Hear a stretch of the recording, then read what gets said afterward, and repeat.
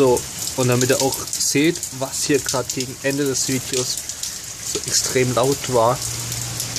Das hier sind Hagelkörner, die runterkamen in Mengen. Schon krass.